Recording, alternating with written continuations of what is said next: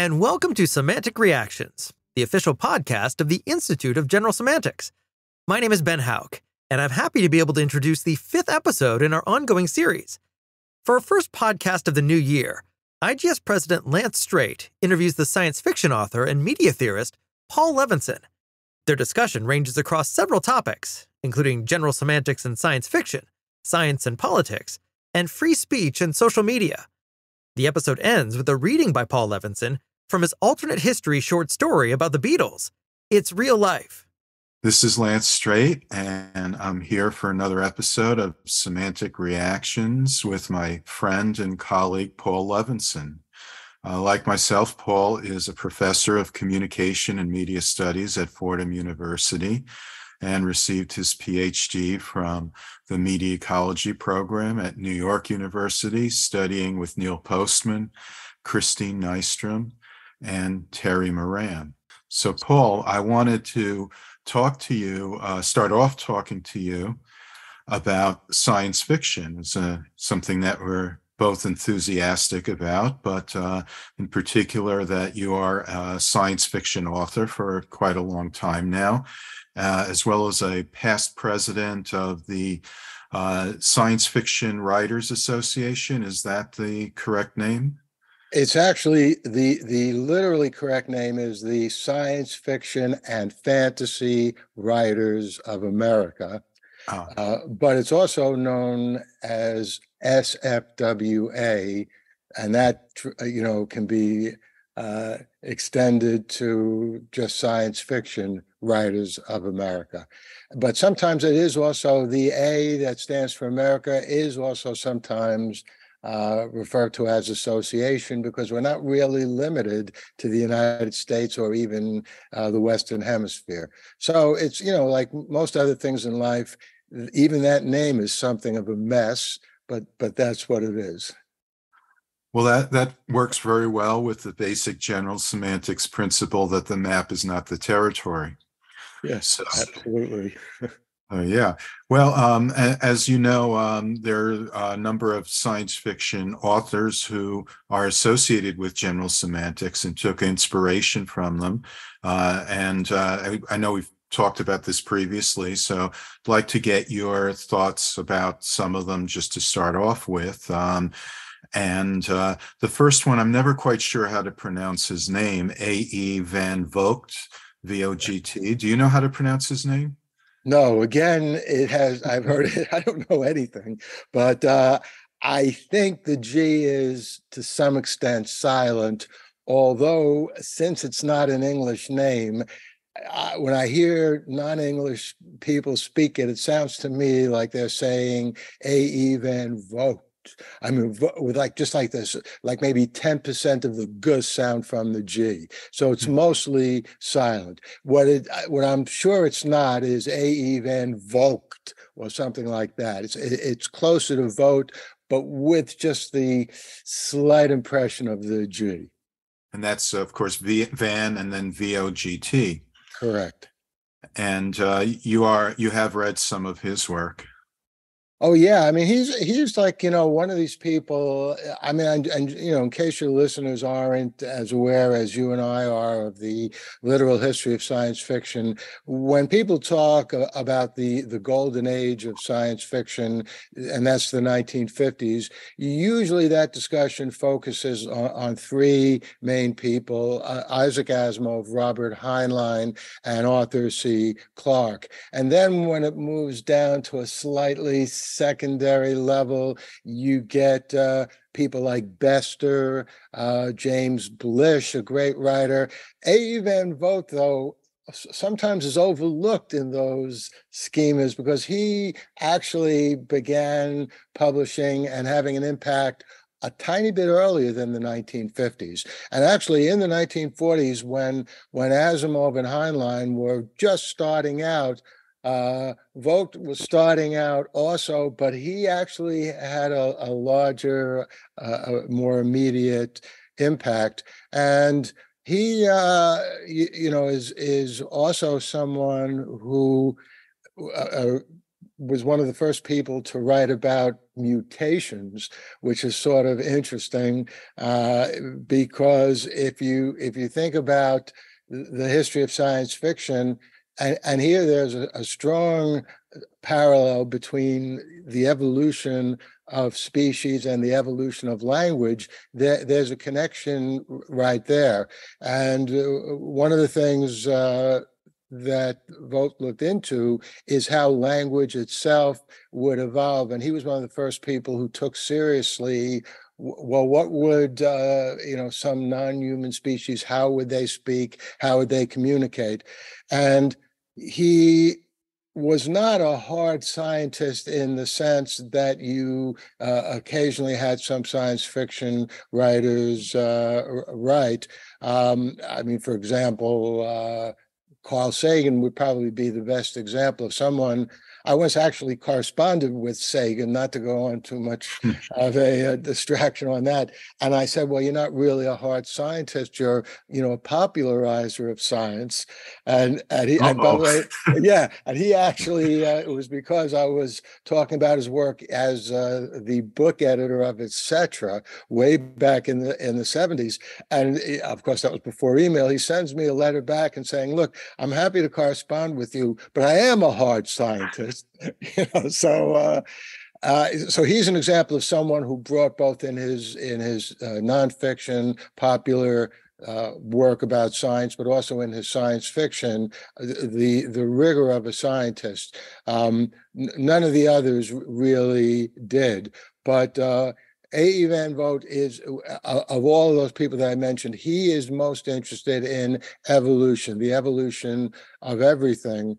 And you know, one of the things that's always struck me as as interesting, and um, this actually is also a language issue, but it's not often enough discussed as a language issue. Is if you think about it, DNA is itself a language, right? It's it's a code. Uh, it, it, in many ways, and and this like gets uh, you know a little bit into McLuhan.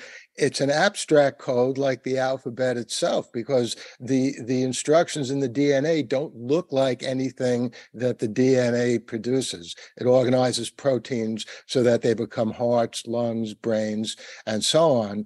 And uh, but I think Vogt got that without actually saying that, and that reflects itself uh, in, in, his work. Although technically, we would say, I mean, DNA is not a language; it's a code. But you know, we try to reserve the term language for for something more specific. But and it's it's certainly a good point, and and and Vogt was also interested in evolution, which, which seems to be one of the kind of overarching themes of much of science fiction in the 20th century. Um, so I note that um, his book, uh, his, his novel Voyage of the Space Beagle, where he has uh, something that's, uh, I mean, I think it's called like Nexium, Nexism or something that is um, basically general semantics, but it's also considered, uh, you know, the, the reference to the beagle is a reference to Darwin and some believe, some consider it to be the uncredited basis of the movie Alien. Yeah, well, that's yet another issue, and that's a fascinating issue. And we can talk about that, you know, in terms of uncredited uh, inspirations. Uh, the uh, on the one hand, you have this this beautiful, in in a platonic sense, the epitome of of like the beauty of creativity. You bring into existence something which didn't exist before. And that's i think what most people assume creative people do. Uh, but when you look at their work uh, you can always find precedents. And i'm not talking about explicit plagiarism. That's actually easy enough to identify. But you know just more you know the general uh, inspiration and uh, you know not to go too far afield from science fiction sometimes uh, even a court of law might decide that's plagiarism but it wasn't if you think about uh, george harrison's my sweet lord it sounds mm-hmm. like the uh, chiffon song and they they sued him and he settled out of court uh, about that um, you know, My Sweet Lord and He's So Fine. And that's a chiffon song. But uh, Harrison always said, no, I didn't consciously plagiarize that. Sure, I heard that song, it was in my head. And so, you know, the people who did Alien, uh, I have no idea if they even read uh, Van Vogt's uh, Voyage of the uh, Space uh, Beagle, but um, you know, certainly it is influenced by that. Yeah, well, and of course, his Null books are are the the best known examples of uh, general semantics influence null for non-Aristotelian. But some people find it them difficult to understand. Uh, well, look, follow. Yeah, well, because he's a he uh, he loves ideas uh, as much as he loves action, and uh, you know that's always a, a problem if, if somebody is looking for more action. And one of the uh, things about Van Vogt is that his his, uh, his all of his works are chock full of uh, different ideas and they move very quickly and you have to take your time you know with his work and read it and and understand it uh, and and give his ideas a chance to percolate into your head and understanding. But um, I wouldn't recommend Van Vogt to somebody who just wants some, you know, escapist science fiction, uh, you know, as, as entertainment. And, and I think you know you once said to me about the difference in how old you are when you read these uh, these stories. Oh yeah, that's right. I thought I, I was just talking to about how, lamenting how old I am in any case. But uh, I mean, I, honestly, though, to tell you the truth about Van Vogt, I haven't reread his work. So, I mean, I, I, it's an interesting mm-hmm. point. As I mentioned before, Van Vogt was sort of lost, you know, in in what is usually considered the golden age of science fiction but I I read his work literally for the first and only time at the end of the 1950s when to me in the library when i you know on the one side there was asimov on the other side there was van vogt i mean and then there were some you know names in between uh, his work was the, the logical work uh, for me to read and, and i love them. So I don't know what it says about me, but my understanding of Van Vogt is the understanding of like a 11, 12, 13 year old. And what I now know about his work, I just think back on what I read then. Mm-hmm. That's in contrast to Isaac Asimov, and that's probably what I was talking to you about. Asimov's work, I, I in particular, the Foundation series, I read uh, them in their entirety let's see, back in uh, 1957, 1958. So that was uh, the first time. Then uh, I, uh, when I was uh, taking a course in science fiction at NYU, this was on the undergraduate level, I decided to uh, write my final paper on the then still a trilogy, the Foundation trilogy, but I didn't trust my memory, so I wanted to read it then as I guess, a you know, 21, 22 year old. And then I read them again in their entirety when Simon, who's actually, and you know, it's sometimes joked that the golden ages of, of science fiction is 11, 12 years old. When he was that age, he became interested in science fiction. So I recommended the books to him. He read those novels and I read them yet again. I remember we would walk around the block talking about them. Simon's and, your son. Simon's my son, right? Uh, and um, and he has now a lifelong love of science fiction. Uh, but um, come to think of it, I didn't read them again, but I got immersed in them again watching the uh, Apple uh, TV Plus uh, uh, first season of Foundation, which, by the way, I didn't think I was as good as the novels and that and I wanted to love it. And you know, we can talk about that. That's an interesting point also in terms of you know media theory and and general semantics because uh, the the the the language of television uh, is very different from the language of words on a page. And uh, that, of all of the great works of science fiction, has been one of the last to be put on a screen. David Goyer is the one who receives, uh, you know, credit for that. He's the creator. He, you know, put together this whole project. and I, I admire the hard work that he put into it uh, in terms of the work, but I don't admire all that much the result of it.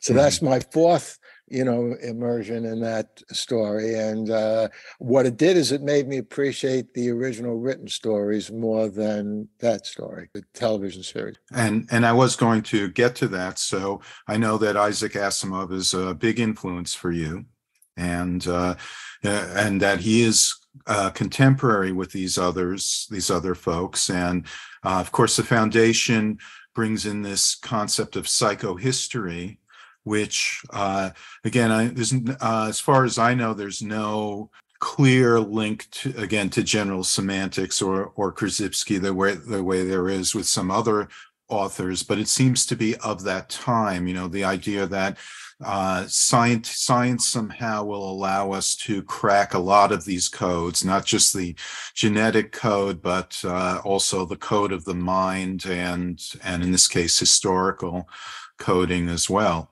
Uh, how well do you think that concept has stood up? Because I know there's been like a kind of movement away from that in some of the sequels, especially by other authors. Yeah, well, uh, first of all, a couple of things. One of the points about the Foundation uh, series and Isaac Asimov's work in general, including his robot uh, stories and novels, is that they have literally, and this gets back to our earlier point, inspired real life scientists. And uh, in the case of Paul Krugman, he's a Nobel laureate for economics.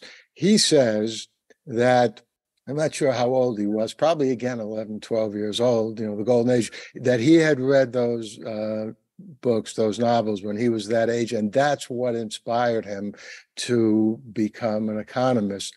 Uh, and then you have people like Marvin Minsky, who uh, was an MIT AI scientist, and he said Asimov's robot novels inspired him to do that. But there are many ways of looking at, at psychohistory, and uh, a, an obvious way, which I think is not often enough uh, pointed out, is if you think about what polling is today, you, you, know, whether it's political polling, just, you know, what people are going to do, polling about anything, in a way, it's a kind of psychohistory because you're gathering data on what people are doing or saying they're going to do or thinking about what they're going to do. And you are using that data to project what's going to happen in the future. That's exactly what psychohistory uh, was and is. But obviously, in terms of polling, it's often incorrect. So, you know, in terms of political polling, uh, it, it, was incorrect in 2016. Uh, it, it, was incorrect in 2018. It was incorrect in 2020. And um, depending upon which side of the political divide you're on, you might be happy or angry about that. But the the unifying point is that polling is uh, still a very inexact science, and Asimov explored that in psychohistory as well, because you know, not to give too much away in case anyone hasn't uh, read that, but psychohistory works great until it doesn't work. right. So, you know that that's one of the great uh, developments in novels. So I consider Isaac Asimov, as you said, you know, I, I I've been influenced by his work, and uh, you know, I, I, you know, from time to time, I'm asked, like anyone is asked, you know, who are the people who most influenced you? Who are the people who you most know? you know, are new. And Marshall McLuhan is still in first place, hmm. but uh, both in terms of what he wrote that influenced me, but also in terms of my personal relationship with him, having met him and talked to him and mm-hmm. worked with him on a couple of projects. But uh, Isaac Asimov is a is a strong second. And I mean, I'll tell you a quick story about Asimov, which listeners might like. Asimov loved making money from his writing. I mean, who doesn't love that? But he loved it so much that we're now talking about the 1980s, as the early 1980s. Asimov is a world famous writer. He doesn't need any more money. But um, I'm now recently, you know, finished with my uh, PhD in media ecology, and I'm beginning to branch out and write and do other things. And the, one of the first things I do is this uh, collection of essays in pursuit of truth on the philosophy of Karl Popper. So I get a good group of people to do essays, but I need someone to write a foreword.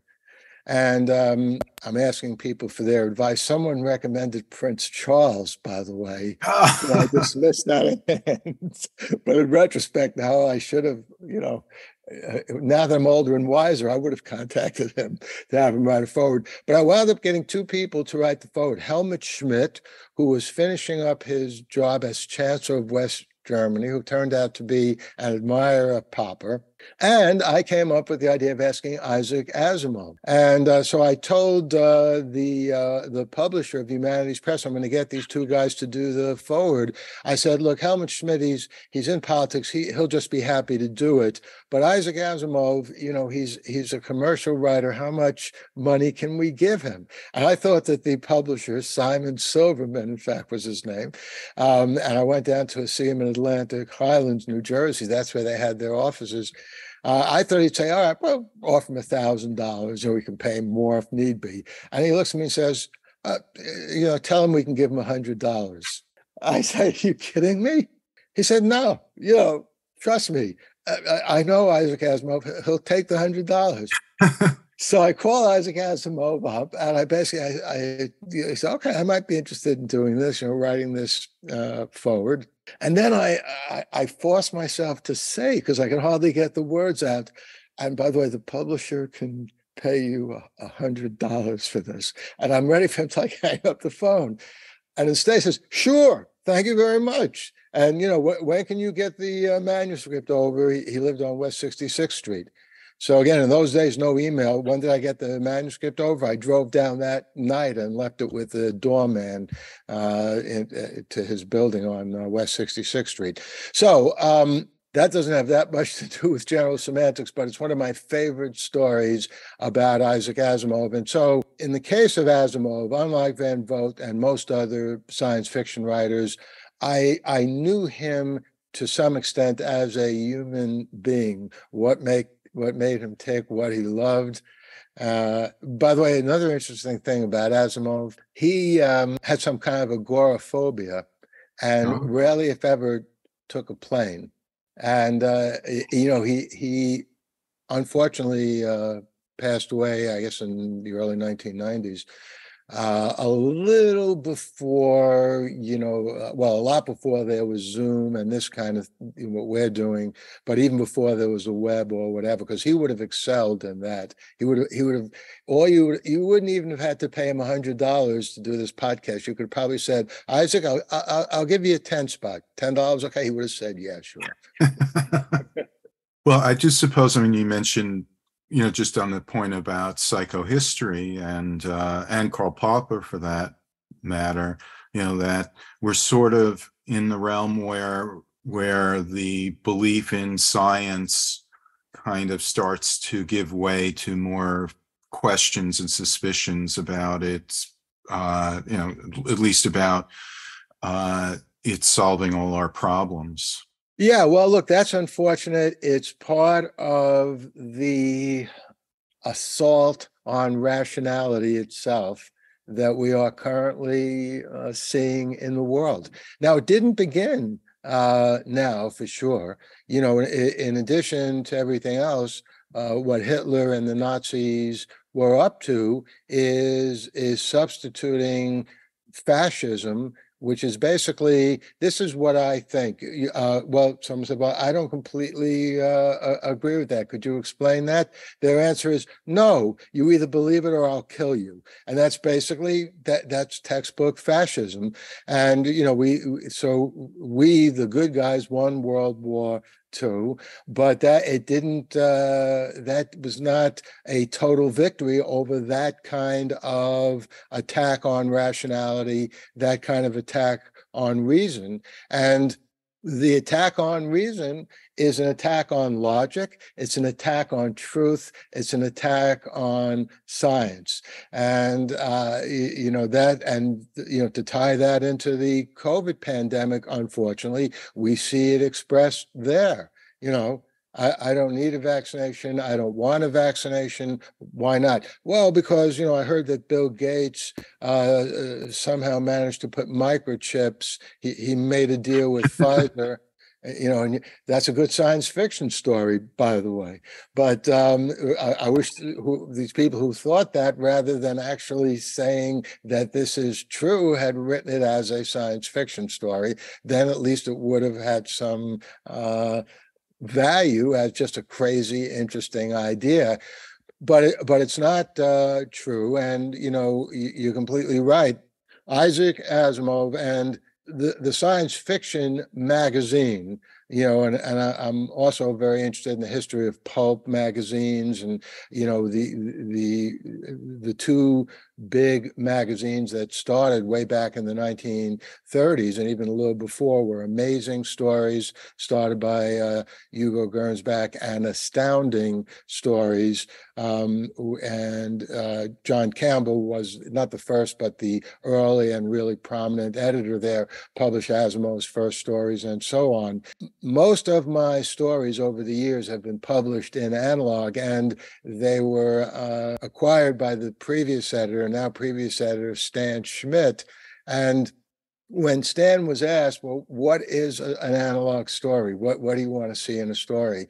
And what he said is, uh, I want a story, obviously, in which there is some kind of problem, some kind of extreme life and death or whatever problem, uh, whatever it might be. And obviously, this is science fiction, so you can make stuff up, you know, for what the problems are but I want our and and basically the characters don't need necessarily need to be human, but I want the characters and in particularly the protagonist to have a reasonable chance of dealing with the problem by applying science and thinking about it. And that was and is, I still assume, uh, Stan Schmidt's definition of science fiction again, this gets into Korzybski too. You you can get into all kinds of definitions. So if if if uh, if if your um, problem is a time travel problem.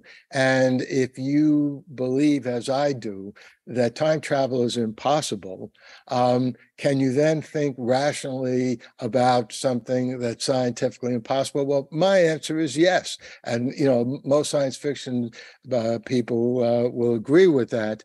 Um, but um, you know, you you I've seen arguments. Well, no, uh, time travel is really science fantasy, or it's just fantasy. Um, and then on the other hand, you have something like Lord of the Rings, which I know you're a big fan of, and you know I am too, but probably not as much as you.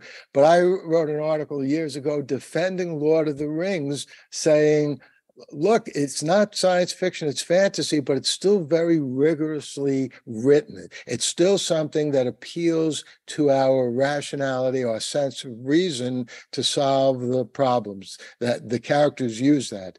So, you know, there is, I think, too much uh, concern over what do we call this. And Karl Popper always said, don't waste so much time worrying about definitions.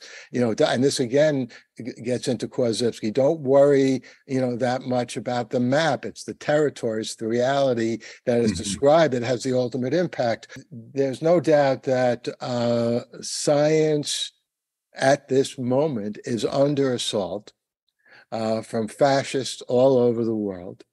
And as part of that science fiction is not taken as as something as culturally significant as what it had been taken to be in the past. Because in the past, because science was recognized, let's talk just about vaccines. So I remember in the 1950s, I went to get my polio, you know, uh, vaccination. I was thrilled. You know, I didn't like the pain in my arm, but however, I was in sixth grade then. I remember that very clearly, or maybe uh, uh you know, an earlier grade. But I, I uh, had enough sense to realize, well, look, I don't want a shot in my arm. Who wants the pain? But I, I don't want to get polio. So, you know, I'll, yeah, th- thanks for giving me this shot. And uh, it was unimaginable back then, which was also the golden age of science fiction, that there would come a time, you know, 60, 70 years later, when there, there would be people who would be attacking that. Mm-hmm. And, and, so yeah. that's the world we live in. And it's what makes it so dangerous. It, it's actually a, a problem that comes up, I think, for general semantics itself, because I think for Korzybski, for Hayakawa, for all those, you know, Wendell Johnson, that was unimaginable too, that they all took for granted that science was the way to solve problems. And then, of course, it was, uh, there's a great point you made about the, um, the editor's idea of science fiction, solving, using science to solve problems. Uh, that that was really the whole basis of general semantics, except applied to everyday life and also to things like politics and, and economics and so forth. Uh, I, I, did want to add, I mean, you keep, you know, you kept saying about fascism. Uh, ironically, I mean, it's also communism where that that happens, even though, uh, you know, kind of Marxist uh, theory, so to speak. Um, was put forth as scientific, but ultimately in practice, the, they did the same thing. They ignored reason in favor of, you know, either believe this or or not. Um, and uh, it's not just reason, but it's also facts. You know, the facts that are uh, on the ground, empiricism, evidence. Um, you know that they dismiss because if it doesn't fit into ideology or simply the authoritarian impulse, just do what I say, um, then it's rejected. Yeah, that's a very, very good point. And and maybe it's good to distinguish between socialism and communism. Socialism, Karl Marx's theory, I don't particularly endorse that either, by the way you know I, I but that's yet another issue but i certainly think it's uh, not an unreasonable hypothesis for how the economies of countries should be organized and, and i think it does have some some very good points to it, uh, but it is something that's based in logic and research. And th- although communism claims that it's an exponent of that. Uh, it, as you correctly point out, reason goes out the door if anyone dares to disagree with what the you know communist uh, authority wants, both internally and tragically what we're you know seeing uh, you know today in you in Ukraine, I mean literally today, is mm is someone Vladimir Putin. He may not be a communist in name, but clearly he takes his inspiration from the Soviet Union, and uh, he he doesn't care about facts. Um, he doesn't care about history. He he just wants to expand Russia, in effect, reconstitute the Soviet Union. And if you don't agree with him, and you make enough noise about it and you, you're in Russia, you, will probably be uh, wind up either in prison or thrown off a, a, balcony or poisoned with some horrible poison. And you know the the whole uh, invasion of Ukraine is based. Ukraine didn't agree that it's part of Russia. It may it, may have been part of the Soviet Union. They also have to some extent an independent history. By the way, look, we here in the United States are no angels either. I mean, if you go back to the Civil War, those states wanted to leave the United States also. Thomas Jefferson, had he been alive, I don't know if he would have endorsed uh, you know, literally the states leaving the union. But he would have said, look, a state should have the right to leave the union. Mm-hmm. And, and so there are authoritarian elements. I mean, we should make no mistake about it. The, the government itself is always authoritarian. It always gets to the point, and one of the things which uh, I used to teach classes in propaganda that's always worth pointing out is propaganda, as you and I well know, because we're both parents. Propaganda begins in the home, where basically parents basically propagandize their little kids all the time. And we say it's for their own good, and sometimes it is. So, in other words, you're crossing the street and, and you have like a little toddler, and the, and the toddler says, I don't want to hold your hand. and you say, well, you, you, know, you, you know, you have to hold. I don't want to hold your hand. Well, look, you know, it's a little dangerous out here in, in the street. So, and it gets to the point where you have to say, okay, look, you, you, I don't care what you think. We need to get to the other side of the street. You, you, know what? You're not only so wrong about not wanting to hold my hand. I'm going to pick you up and hold you as we cross the street. And the kid might scream and yell, you know, uh, you know, put me down or whatever. And you don't do that. And we say correctly that as parents, that's where reason and rationality have to end. Because if somebody is incapable as a toddler might be and understanding that rational argument, you have to do the, the safe thing. But the problem with fascism and communism is they treat their adults like children and it, it's it's clear to them the the authoritarian leader uh, leaders that hey this is the right thing to do but uh, they don't allow for any dissent and or even dialogue that's an interesting analogy because it brings to mind for me george lakoff's point about the metaphor for nation is that of family, and that on the kind of conservative or right wing side, that metaphor is expressed as the strict father who must be obeyed. And so it has nothing to do with the um, specifics with the content, it's purely the relationship of obey father Whereas on the left or on the liberal side, it's the nurturing parent. You know, it's like, are you okay? Are you comfortable? Is there more that I can do for you? Uh, you know, kind of thing. But, uh, you know, just on the point about communism again, you, you know, I spent uh, a couple of months in China over, over a couple of years.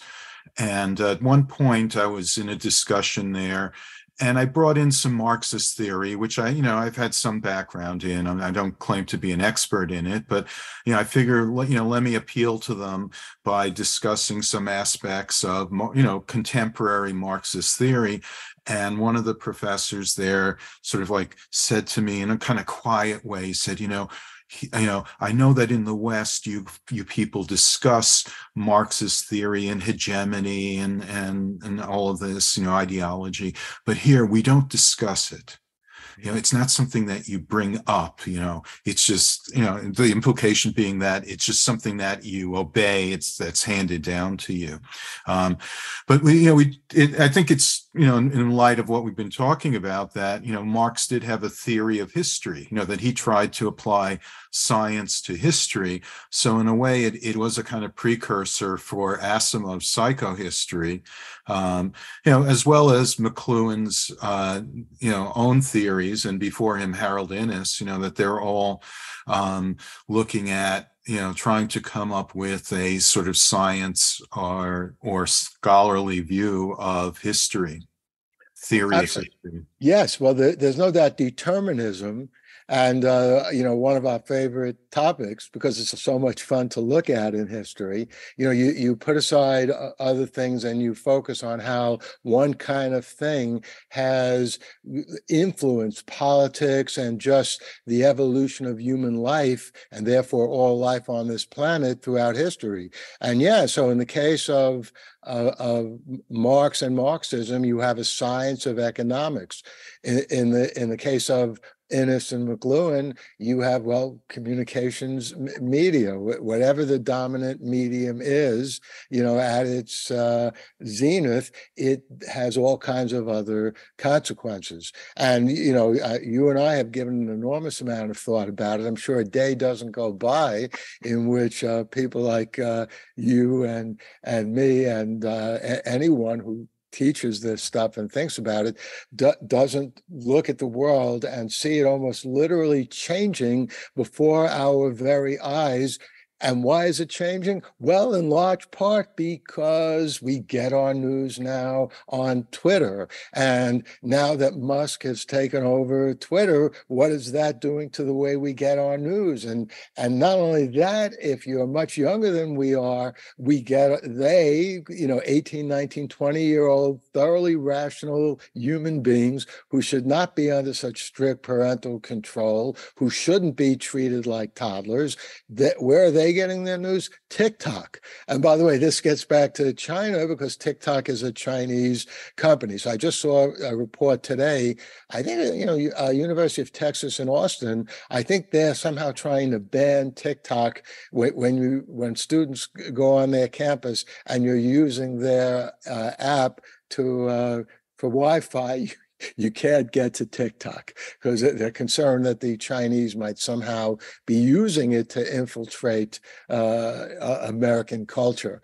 But so yes, th- there's there's no doubt all of these determinisms, uh, wh- whether it's McLuhan, uh, Marx. By the way, Freud, of course, is another. What what determines human civilization for Freud? Well, libido and thanatos, the way we deal with these very very profound instincts and emotions, and all of them are right to some extent, and all of them have their limits, and all of them are useful because they help bring order to a an otherwise totally inchoate world. Well, since you brought up Elon Musk, uh, and I know that you know in the past you've been a uh, staunch advocate of free speech, and and certainly you know in connection to rationality and the Enlightenment, the idea of the free marketplace of ideas uh, was seen as essential.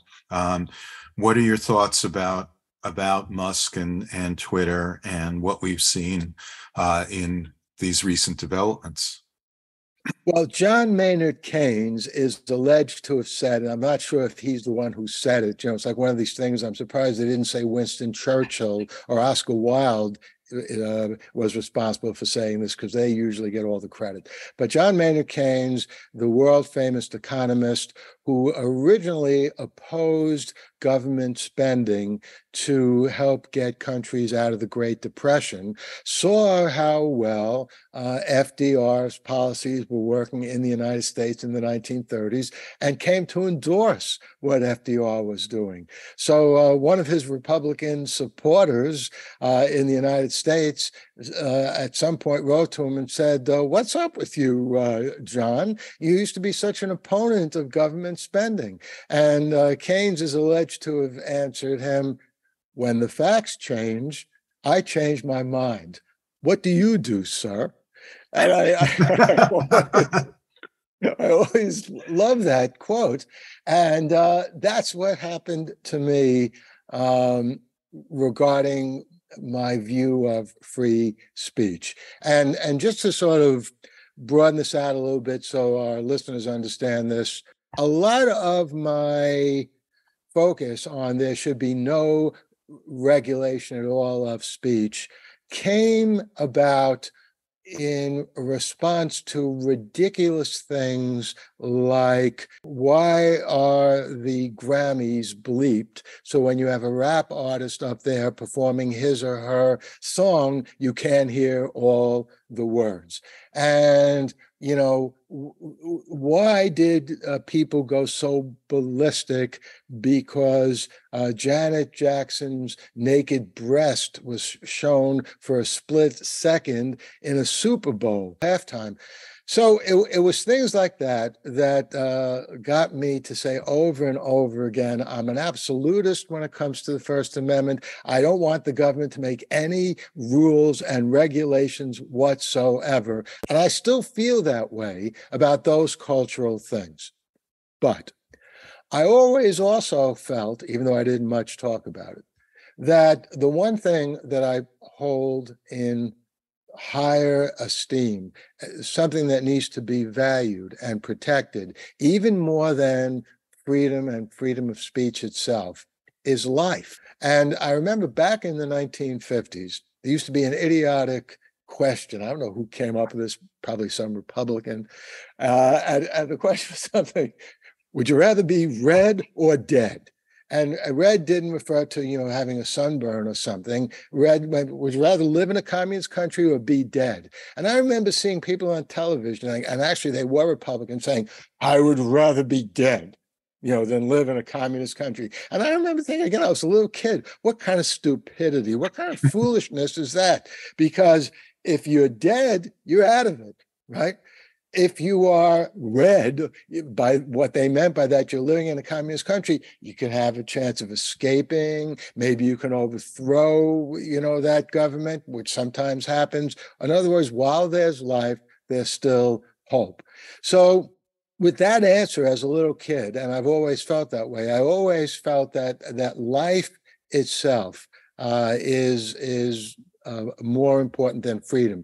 Inconvenience uh, is is not more important than freedom. So I'm still uh, somewhat, I've always been a critic of Oliver, Justice Oliver Wendell Holmes Jr., famous or infamous clear and present danger decision in the Schenck case in 1919, in which he said, uh, you know, he's in favor of free speech, but not when it's shouting, falsely shouting fire in a crowded theater. By the way, that's often just said. I almost just did it myself. It's not shouting fire in a crowded theater. That might be a good idea, by the way, because you know people should know you gotta get out of there. But falsely shouting fire is malicious, and it's certainly inconveniencing the public but I, I, didn't think that was a very good uh, standard, and I still don't, because yes, it's possible people might trample each other as they're running out of the theater. If that's what uh, Oliver Wendell Holmes Jr. was talking about, okay, I grant them that. But for the most part, it's a malicious act that inconveniences people, ruins their evening.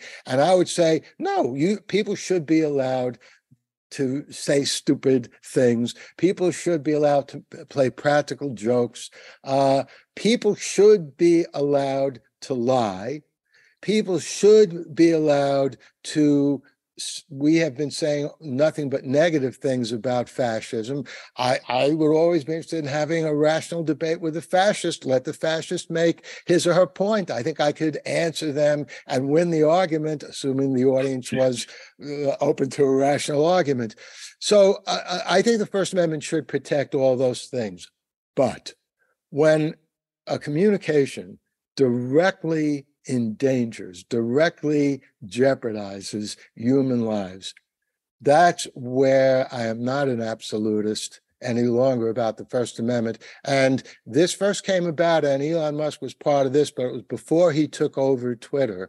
Um, and it first came about in my noticing, and you know, I'm sure you've seen it too, these insane uh, things that were on Twitter, on Facebook, etc., about the COVID pandemic, including, by the way, that insanity uh, uh, about uh, inserting uh, Bill Gates inserting a microchip into the vaccine. I first found out about that because someone I, I got like a an, a, a, video sent to me. I don't know why me on Facebook, you know, saying you should watch this video, Dr. Levinson. And in the video, there was a woman who was wearing a white doctor's smock and uh, you know looked very professional and she very patiently explained how she's done years of research and she's come to the sad conclusion that gates has indeed put microchips in, into the vaccines.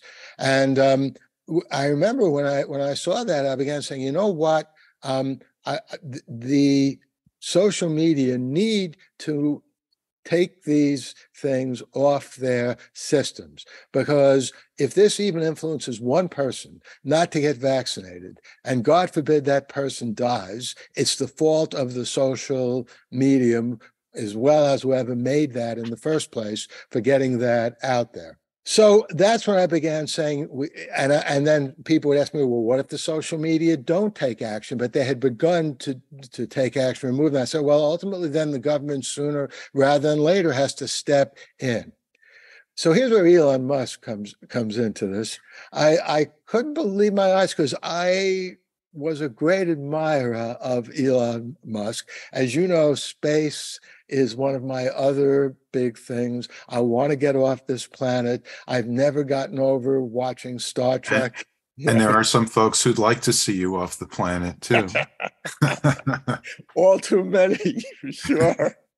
and you know, so I always admired Musk and Jeff Bezos and all these people, uh, Richard Branson, who are doing, you know, the private enterprise work to try on their own, in addition to government, to get human beings off this planet. I, I thought and still think that's a very, very good thing. So I followed Musk on Twitter. And I was horrified to one day see he begins, uh, this is before he owned Twitter, he begins uh, presenting his views that uh, uh, and they sounded oddly familiar. Uh, you know, the pandemic will be over in a month or two, and you know maybe you should look into hydrochloroquine or whatever it's called. That's a good remedy. Just a series of things, and if, if they sound familiar to our listeners, I don't know who got that from whom, but Trump uh, was saying that pretty much the same mm-hmm. things at the time, and and that was very dangerous also. And I remember thinking, I, I don't know what's wrong with this guy Musk, but but he uh, is uh, encouraging information that's going to kill people as simple as that. You know people think it's going to be over soon and you know d- don't make such a big deal out of it. That you know it doesn't matter that thousands and thousands of people are dying every day at the height of the pandemic. And he, and unfortunately by the way still continuing although to a lesser extent people are still dying. So i began keeping an eye on Musk in a different way. And I was not happy when I heard that, well, Musk made this bid to t- take over Twitter. But I was happy again when it looked like they were going to turn the bid down. But then they, the previous owners of Twitter's accepted the bid. But then I was happy again. See, I, am very easy to make happy when I heard that Musk said, you know what, I don't want all this aggravation. I'm withdrawing Right. right. Right. And then those idiots who own Twitter took him to court and basically compelled him to go through on his bid. So um, I've been very unhappy with what Musk uh, has done uh, as you know the the new owner of Twitter. I don't uh, object at all, and I think it's healthy to have political opinions that I drastically disagree with on Twitter. If if you want to say that I think that billionaires should pay in effect no taxes because they bring so much good to the country, they start up so much business. Uh, hey, you're entitled to your opinion. I think it's drastically wrong, but I think the First Amendment should and does protect those kinds of opinions.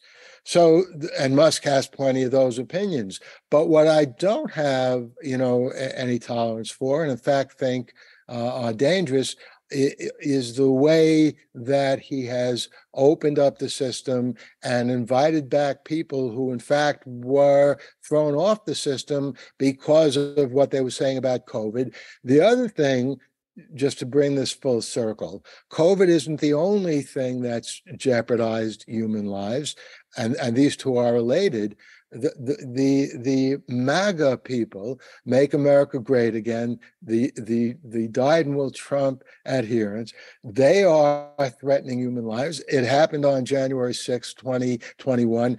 You've probably just heard the news that back in December there was some guy Pena, I think his name is, out in New Mexico. He lost the election. He lost it by a mile. He bought into the Trumpist nonsense that uh, that the election was rigged.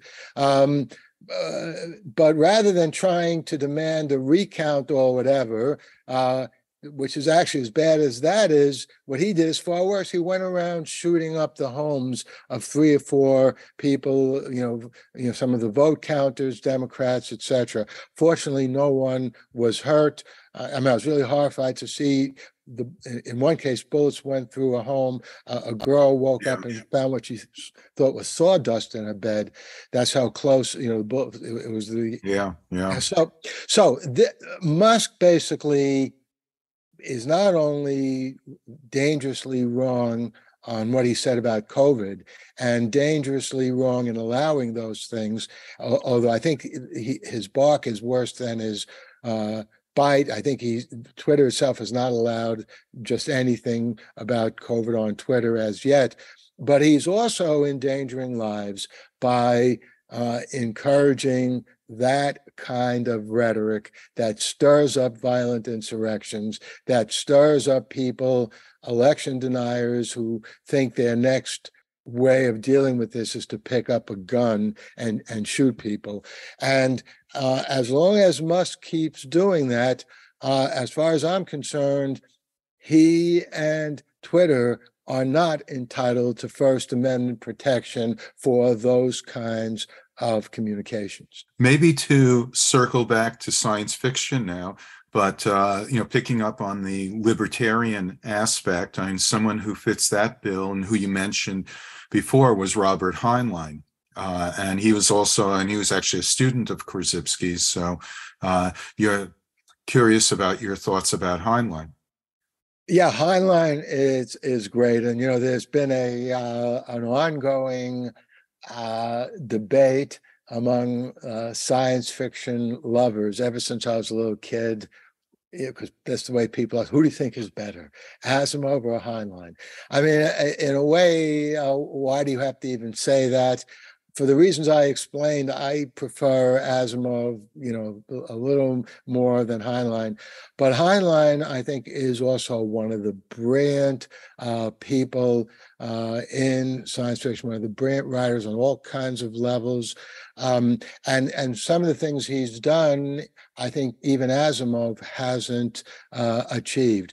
For example, The Moon is a Harsh Mistress um, is just a great novel in which AI, as we know it, I mean, Asimov looked into AI in terms of robots, but in Moon is a Harsh Mistress, uh, there is a uh, an AI system that's installed on the moon, and that was an early and brilliant exposition of of what centralized computer systems can do. I think when it comes to time travel, although my favorite time travel novel is still Isaac Asimov's The End of Eternity. I highly recommend it. By the way, believe it or not, there's a Russian version in, that was done in 1987 uh, with English subtitles in the Soviet Union. Not bad, not bad. I guess Gorbachev had already opened up the Soviet Union a little bit, so it was, it was pretty good.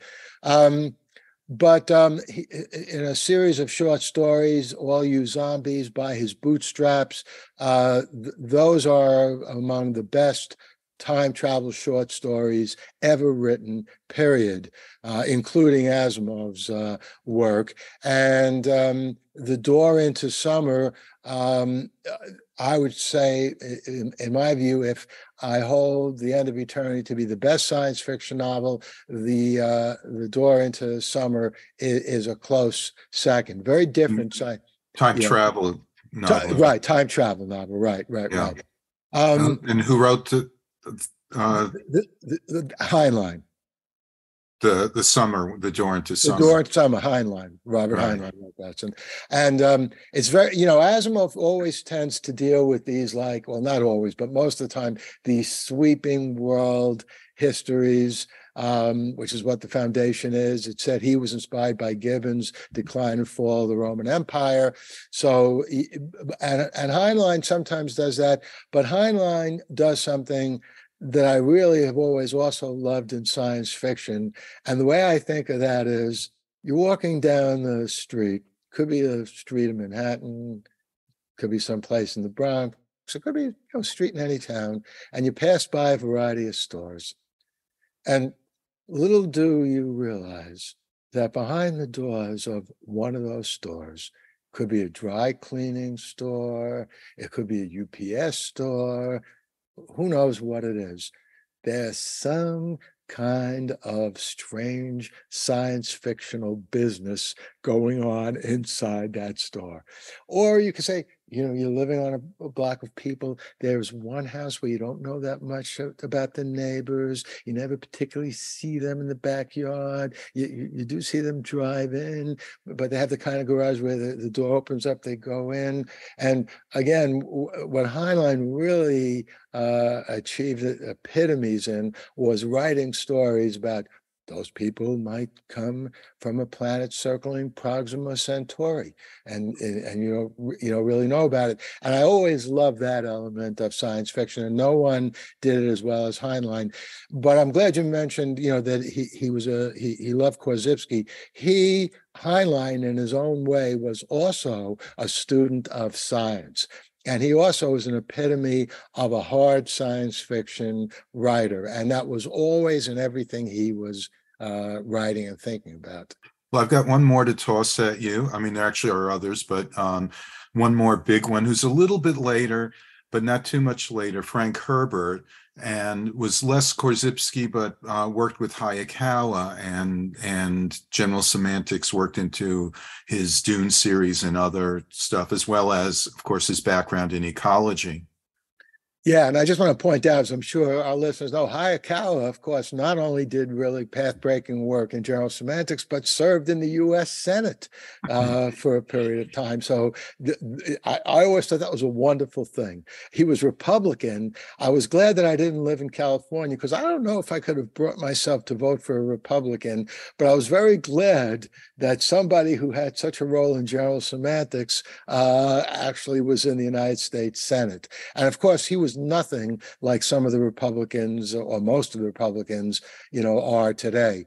Um, yes, I think you know Frank Frank Herbert. The the uh, the if you think about just um, Asimov, Heinlein, and Herbert, it, it, it's very interesting to look at the similarities and differences there. For everything that I just said about Heinlein, he never wrote a series uh, a trilogy and ultimately even more that that was anything close to what the foundation trilogies or the robot stories were for Asimov. And so when we talk about who the best science fiction writers are, the most important science fiction writers are, and we try to limit who wrote path breaking series. Who wrote series that was so good that they were continued by writers even after the death of the original author? Who wrote uh, series that was so good that they were made into movies and television shows? And by the way, we haven't talked about Philip K. Dick. He also is right up there in that pantheon. Um, and also is very, very uh, important on the issue of what's reality, what's not reality. Mm-hmm. But to get to Frank Herbert, I, I would put his Dune trilogy and by extension, the novels that came afterwards as the second best trilogy and the second best series of novels that went beyond the trilogy in science fiction. And uh, again, each uh, person has has their strengths. Um, in terms of ecology, not media ecology, but ecology in, in the original meaning, uh, Asimov never spent that much time, you know, talking about the places where his characters lived. I mean, he, he would throw in, you know, Kalgan, you know, the, the beauty world or whatever, or this or that. And you know, he, he would give them like a phrase. But uh, Herbert described Arrakis, Dune, what was going on there in unbelievably explicit and therefore memorable and and pungent detail. And um, there, by the way, there was a movie made of uh, Dune in the 1980s, which I thought was not too good, but. Uh, uh part one of a two-part movie uh, was uh, on some streaming network last uh, year. I saw it. I really enjoyed it. I'm looking forward to part two. I think this current two part movie version of Dune does live up to Frank Herbert's work, and I think they've done a great job on that. Uh, and you mentioned Philip K. Dick, and my understanding, what I've heard is that um, he was uh, indirectly influenced by Korzybski through Van Van Vogt. Right. Um, right.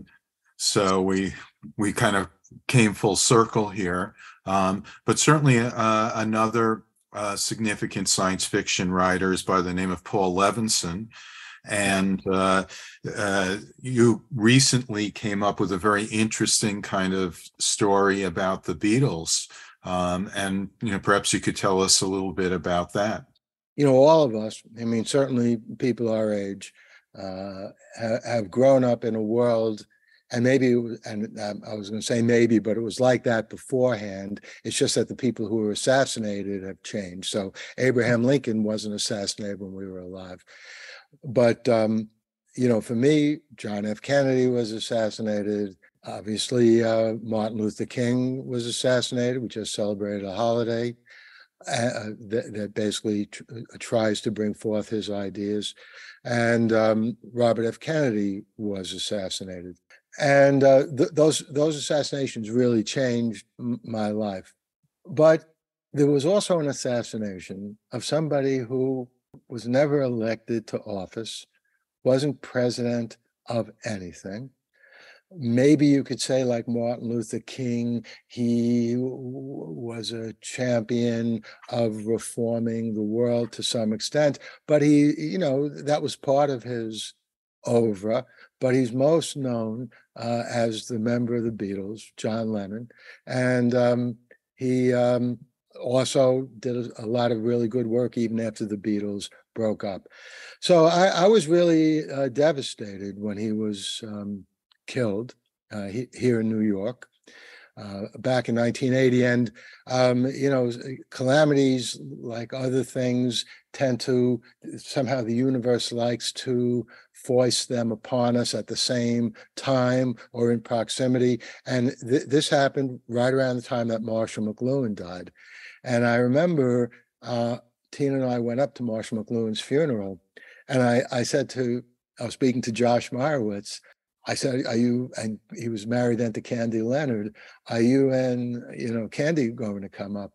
And he said, "Oh, well, we were thinking about it, but we're going to New York uh, to you know at, at this uh, ceremony uh, in, in Central Park. It was right after John Lennon had been assassinated. And Candy Leonard has gone on to at least write one book about the Beatles.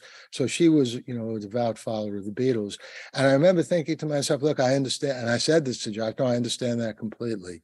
Uh, but I, you know, I, I knew Marshall McLuhan. I didn't know John Lennon. So I, Tina and I going up to, to, to his funeral. And of course, famously, they didn't meet. Those two met each other in Toronto, and there's some film of that. That's right. That, that, that's great. There's I think even a video of them. It was yeah. when he was recording "Give Peace a Chance." I mean, it was and other things up there. But even though I did go to Marshall McLuhan's funeral, uh, my heart was still broken uh, about what happened to John Lennon, and um, obviously, like everything else, that's something I, I'm upset about to this very day. And before I tell you about uh, the, the story, uh, it's it's real life, um, and this relates to the story. The, the next important event, though, in, in that development of these ideas and thoughts and feelings in me was the release of the two sided record in the 1990s Free as a Bird on one side, Real Love on the other side.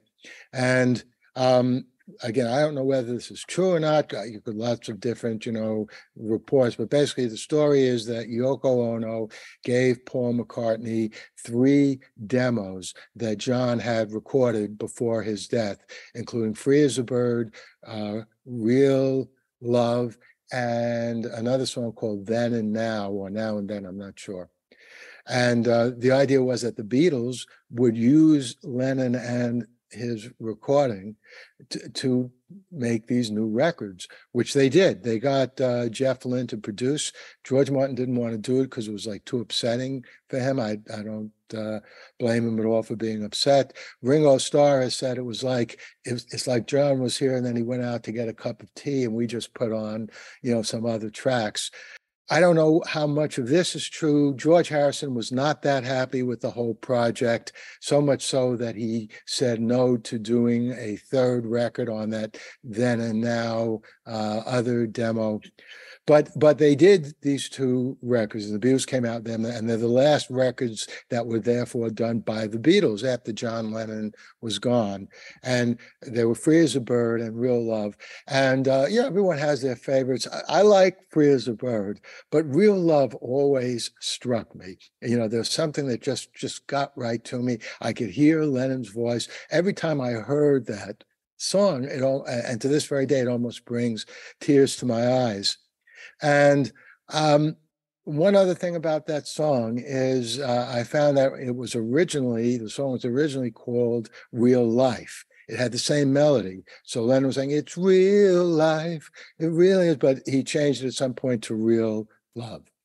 So I've been thinking about this, but it's been rolling around in my head all these years. And, you know, COVID, like everything else, has unintended consequences.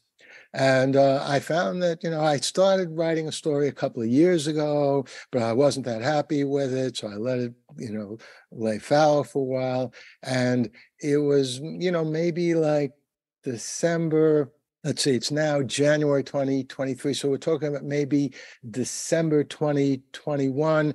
Uh, I began thinking about it and, you know, looking at what I'd written. And then I sat down and I wrote this story. And uh, I, I called the uh, story it's real life. It's an alternate history story. The other essential element in the story is someone else that you and I both knew, Pete Fornatale, I um, thought I was thinking that he must have something to do with this too. Yes, and um, I, um, you know, he tragically died. I was a couple of years before COVID. I it was, I guess, it was a heart attack. I'm not sure exactly what it was, but way too young. And um, I listened to his music when he played it on Mixed Bag as a student at Fordham in the 1960s. Little did I know then that at some point in the future, Mrs. Life is interesting, I'd be teaching at an institution and where he would be back at WFUV. And um, yeah, I remember growing, you know, growing up and listening. Was it PIX? Uh, to... NEW. He, oh, he went, yeah. Yeah, on FM and That's listening. Right you know, it was him and Alison Steele was another one. That, you know, that's right. All of the great DJs uh, right. when FM was new and they were playing a lot of the longer form or album oriented rock and progressive music and all of that. Exactly. And Dennis Elsas, by the way, who's currently yeah. still WFUV, he comes from WNEWFM also. Um, so, and by the way, I have to say, I, you know, we, uh, Pete and I had an interesting relationship. At one point, he said to me, I, I, You have an album out or something? This was before my latest album, Welcome Up. This was just when the only album I had out was Twice Upon a Rhyme. I said, Yeah, I do. And he said, Well, if you send me a CD, I, would like to listen. I said, Sure, you don't have to ask twice. So I sent him the CD, in which actually this was like a Korean uh, reissue of the album, and they asked me for some bonus tracks. So I put a song on there called Murray the K's Back in Town. Murray the K's Back in Town that I wrote for Murray the K when before I got involved in the academic world, I worked with Murray the K when he came back to NBC in the 1970s. He was a disc jockey uh, here on WINS and then on uh, WORFM. Um, and then, much to my delight, Pete played that on one of his shows. What?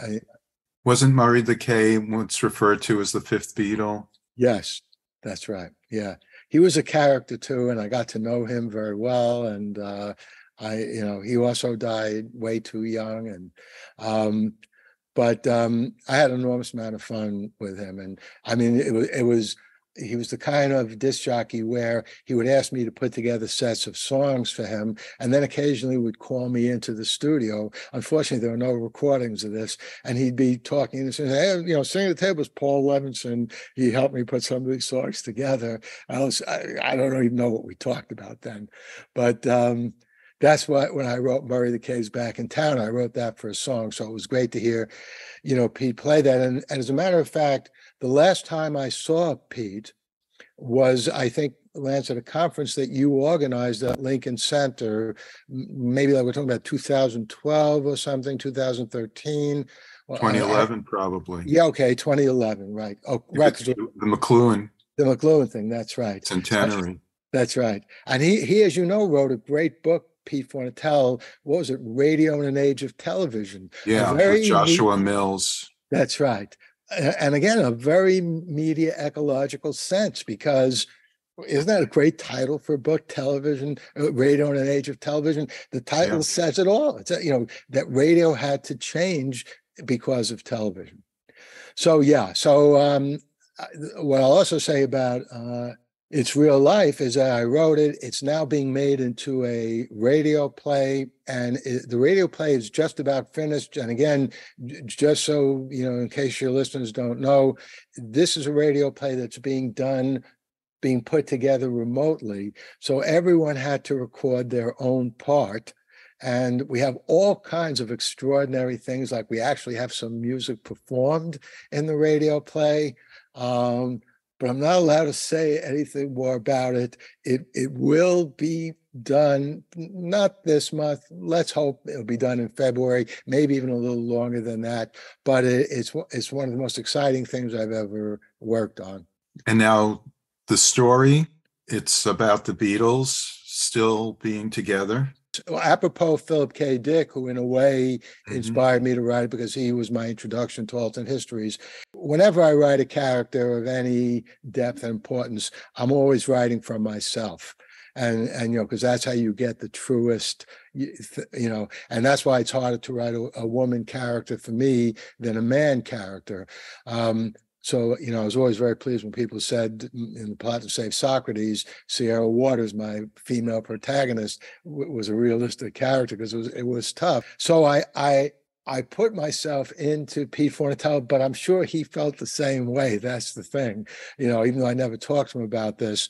So Pete Fornatale uh, plays, uh, you know, a Beatles song, and you know, uh, it, it, makes him begin to think again of John Lennon, and he he thinks of this song, uh, and um, again, it uh, he doesn't know why, but he has like this inchoate feeling of dread almost. And so when the show is over, he decides to walk it off by walking in the tunnels that go underneath Fordham University.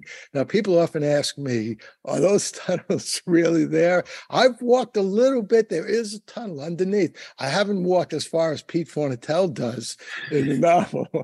but a lot of these universities, you know, that were built City College that were built like in the 1860s, 1870s were built up. They put tunnels underneath uh, the campus so you, when you were walking in the winter, you didn't freeze to death, or if it was a pouring rain, you could get from one building to another. So, so Pete Fornatale walks through those tunnels.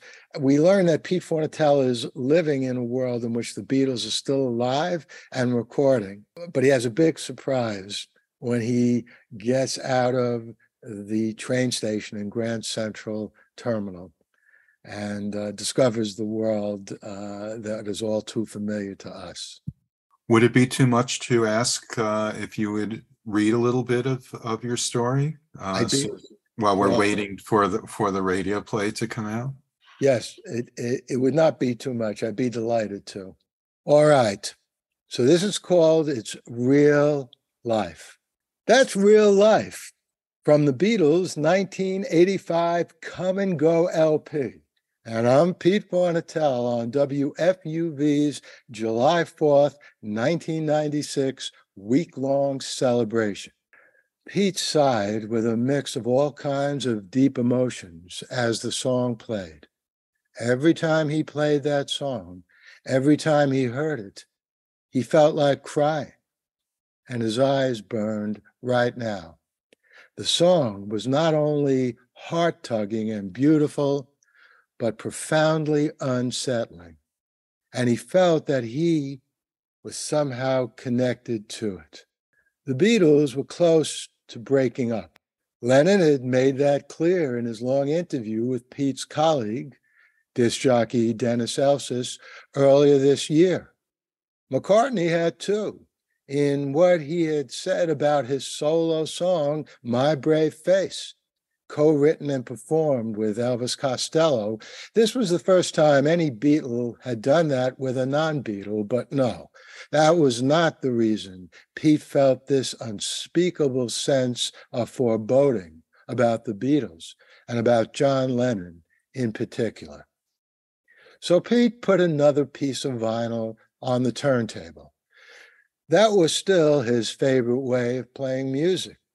Here's one of my all time favorites, Pete said George's All Things Must Pass from the Beatles' 1974 Band on the Run LP. They brought in Nicky Hopkins to play piano on that one. Pete hoped the song might make his foreboding pass. It only made it worse. He looked at the stained clock on the wall. He had just 12 minutes left to his show. Maybe he'd take a walk in the tunnels below Keating Hall. That had always cleared his mind when he first started walking there when he was a student here at Fordham University back in the 1960s. He'd found it cleared his mind now too, since he'd returned to Fordham and WFUV about two years ago. No one knew exactly when or why these tunnels had been built, likely near the end of the 19th century, in one of Fordham's many expansions, so students could go from one building to another without getting frostbitten in winter or drenched in the spring. There was a rumor that Edgar Allan Poe had something to do with constructing them, and one of the tunnels went straight to his home up on Kingsbridge Road. Not likely, but who knew? Poe's cottage on Kingsbridge off the Grand Concourse, well, that was definitely real. On this Tuesday after July 4th, the tunnels were danker than usual. But Pete didn't mind. He was kindly disposed to the fungus or lichen or whatever it was on these walls, and the dankness, well, it was part of their charm. There were all kinds of stories about what existed or what could be done in the tunnels, ranging from ghosts to teleportation portals to Pete's favorite.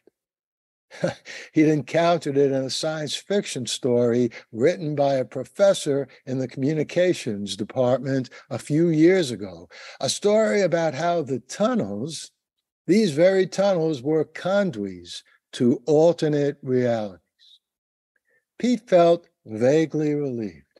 The very thought of alternate realities made him feel better. Maybe, maybe he could get to an alternate reality where he wasn't plagued by this inchoate feeling of dread about John Lennon.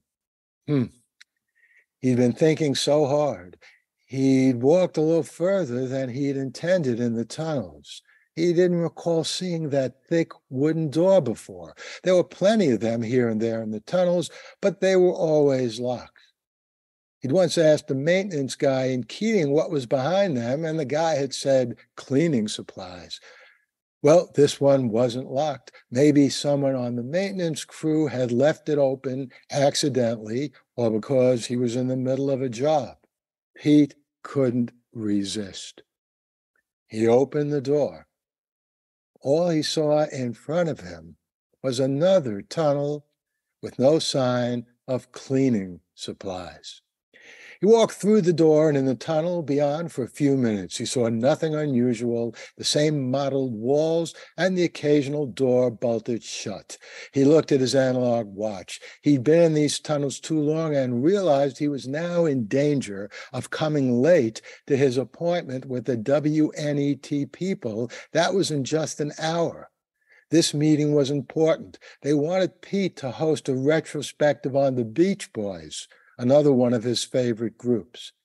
He looked back on where he'd been walking. He needed to find a faster way out of here so he could catch either Conrail or Fordham's Ram van downtown, depending on where he was able to exit. He knew there was more than one exit. He'd used multiple exits ever since he'd started walking here in the 1960s. And ah, there was one, a different kind of door, not bolted. With any luck, there would be a steep flight of stairs upward on the other side. And there was. He sprinted up the stairs so fast his legs hurt. He opened the door to a soft rain. It wasn't bad. He squinted and saw he was on the west end of the campus. Okay, it would be Conrail to Manhattan. He had no idea what its schedule was, but the trains did run pretty often. He walked quickly past Duane Library toward the train station. He loved that old library with its winding steps to shelves overcrowded with books. He heard a train in the distance and he quickened his pace. It was definitely coming from the north. It would be close, but he was good at catching an arriving train. He knew he could pay on board. He dashed past the ticket booth, nearly collided with an elderly woman, and apologized over his shoulder. He walked through the open doors and smiled. He rushed down the stairs to the tracks just as the train came into the station. He always enjoyed these last minute boardings. He sat on one of the worn cloth seats and awaited the conductor. A woman soon approached in a tight uniform and a book of tickets. Grand Central Terminal, Pete told her. She nodded. Five dollars, she said. Pete gave her a five dollar bill and she reciprocated with a ticket stub. As she walked away, Pete noticed that it said Metro North on the back of her uniform. He hadn't seen that before. It usually just said Conrail. The train arrived at Grand Central about 20 minutes later. A group of buskers caught his ear and eye. The three young women were singing Yes, It Is. It was one of Pete's most beloved songs. Please don't wear red tonight. Pete looked at his watch. He made good time on the train and he had a few minutes to spare. He took another $5 bill from his wallet and he placed it on the open guitar case, which already had plenty of bills and coins. The women finished the song with the word true in lovely lilting harmony.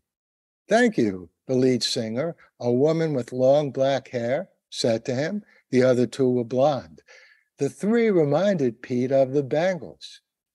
You were wonderful, Pete said. Do you do requests? The lead singer nodded. How about real life? Pete asked. The woman scrunched her face. You mean real love? I think I read in Rolling Stone that real life was the original name of that song. Is that what you're talking about? Pete shook his head and laughed. He'd read every issue of Rolling Stone and he'd never seen any article or review or interview that said that. He certainly didn't want to insult these singers and tell them he was Pete Fornatale, and he no doubt knew much more than they did about the Beatles. He thought for a minute, finally said, Okay, could you play me that song? The women nodded and began singing. It was really beautiful, exactly the same as real life, except they were singing real love. It's real love. It really. Thank you, Pete said when they were finished, and he impulsively reached into his wallet. All he had was a $10 bill and a $20 bill. He put the 10 in the open guitar case with a flourish. You deserve it, he said. Isn't that President Reagan? One of the women asked. Pete nodded. Uh, when did they change the guy in the money? One of the other women asked. Alexander Hamilton's on my $10 bills. Pete didn't know what to say. He looked at his watch. If he stayed here much longer, he'd be late for his appointment. He pulled his cell phone out of his pocket and called one of the WNET people he was supposed to meet. The phone rang and rang with no answer and no voicemail. He put the phone back in his pocket. He didn't really care about the pictures on the money. He did care about NET, but he cared most about the Beatles. Can you tell me all you know about that song? He asked gently. The women looked at each other. The first one he had talked to looked up at him and considered. Oh, you gave us $5 of real money. So even if the $10 isn't real, I guess your $5 is worth a few minutes more conversation. Thank you, Pete said. When did you last hear that song? I saw the video on MTV the other night, one of the women said. It was very moving. I don't think I've seen that, Pete said. What did you find moving about it? I mean, you know, with Lennon and all, she said, it, it was really emotional. Yeah, Pete said. John always has a voice that pulls at your hearts, doesn't he? And and seeing him come back to life on that video on the song well that was really something one of the other women who hadn't spoken before said. And there was something like tears in her eyes. Pete opened his mouth to say something but stopped. This was getting crazier by the minute. What do you mean come back to life? he finally asked slowly had something happened to John Lennon that he hadn't heard about? Pete was thinking, no, no, impossible.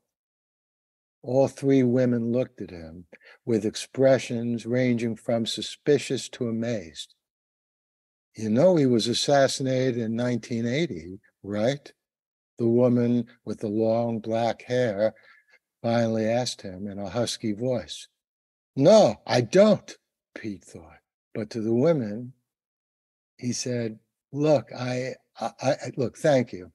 You have lots of talent, and, and, apologies for the interruption. He opened his wallet for the 20, but thought the better of it. He might need it for other things. He reached in his pocket and found two quarters. Thanks, he said again, and put them in the guitar case. He could hardly keep his mind on what he was doing. He knew these had George Washington on them. These quarters are real, right? All three women nodded. Thanks, Pete said again and hurried away. There had to be a bookstore with an encyclopedia in or near Grand Central.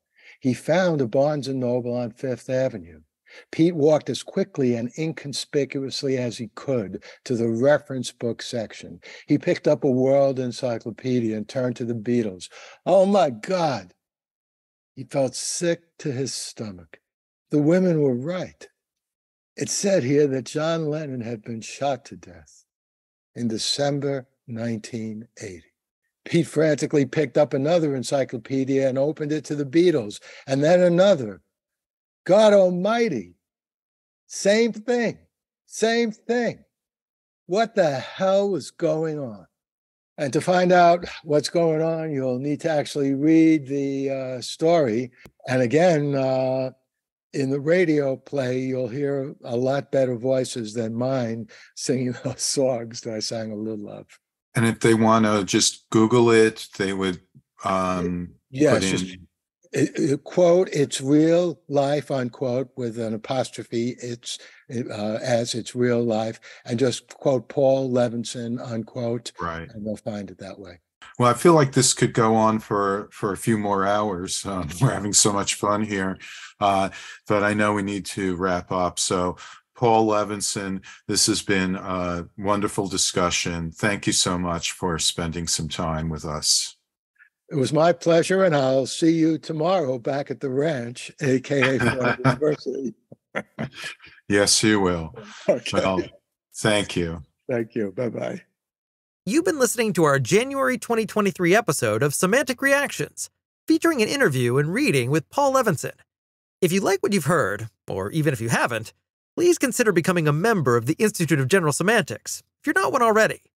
In addition to supporting our efforts, IGS members receive an annual subscription to our journal, etc., a review of general semantics, access to our online and in person events, lectures, and seminars, and discounts on the books and audiovisual materials that we sell. Regular membership is only $50 and half off for students. Your membership and any additional donations you care to make will help to support our offerings and activities as we work to bring a measure of sanity to the world. The Institute of General Semantics is a 501c3 nonprofit organization dedicated to research and education on a wide range of topics. They include language and symbols, meaning and perception, communication and representation, media and technology, science and epistemology, creativity and critical thinking. We are dedicated to making the world a better place through practical strategies for improving our semantic environment, individually and collectively. For more information about the Institute and our activities, and to become a member and supporter of our work, please visit our website at generalsemantics.org. That's generalsemantics, one word, .org. And this brings to a close our fifth episode of Semantic Reactions, the official podcast of the Institute of General Semantics. This is Ben Hauk, signing off, saying, We hope you'll join us next time. And until then, just remember this simple fact that the map is not the territory.